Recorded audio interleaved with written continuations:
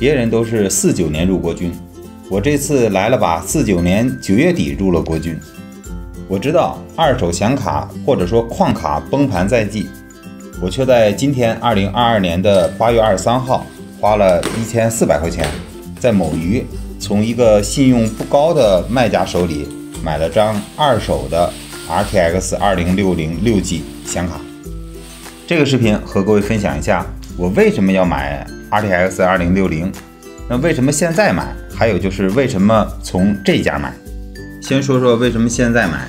我上礼拜新升级的十二代酷睿幺二七零零是带核显的 UHD 七七零，另外我手上还有一个老的 AMD 显卡 RX 五六零四 G 显存的。我本来想的是用 UHD 七七零集成显卡来替代 RX 五六零。我不玩游戏啊，主要做一些直播还有视频剪辑相关的工作吧。幺二七零零的集成显卡用了两天，发现问题很多，而且问题很严重。回头我再做视频单独说这块儿。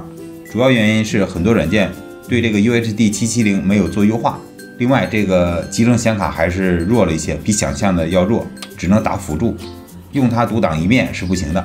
所以为了不影响效率，为了不影响工作，我还是要尽快买一个显卡。最近我一直看二手显卡相关的视频，还有直播。很多人说二手显卡在八月底会降一波，九月十五号也会降一波，等到双十一新卡老卡都会降一波。本来我的以前的这套配置是可以忍的，但是换了幺二七零零之后，真的不想忍了。以前的小毛病现在被突出的很明显，很影响心情。但是最关键的，你们知道是什么吗？就是关注动态。你没有下手，没有买，买了怕吃亏，买了怕降价。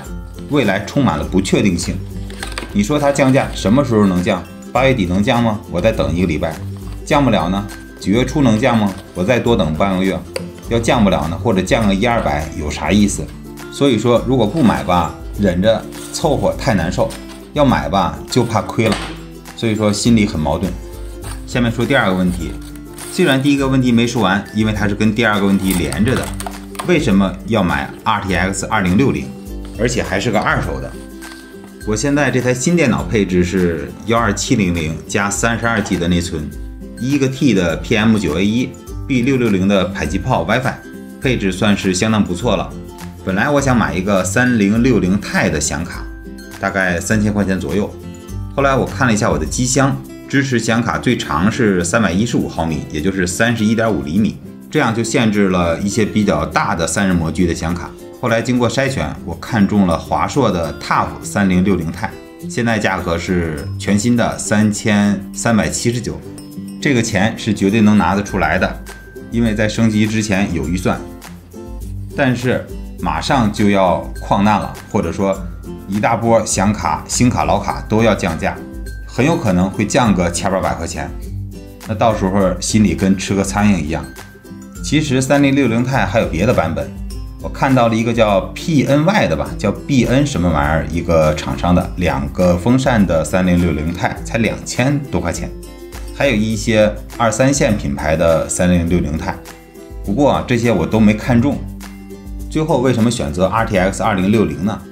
因为根据我的工作或者说我的要求吧，视频剪辑、视频编码解码，图灵架构的二零系显卡是没问题的。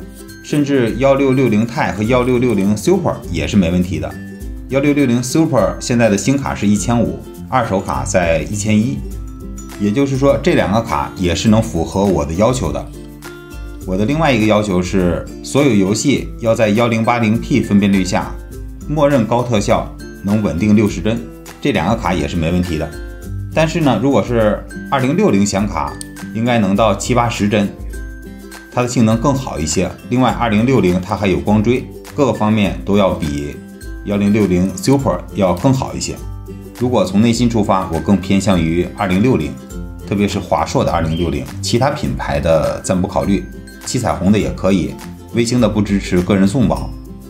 最关键是价格，现在二零六零也有卖新的，京东价格是两千三百多，很多第三方已经降到了一千八九。但是我觉得花两千块钱买一个二零六零的新卡也不值，或者花两千五百块钱左右买个三零六零，我也觉得不值。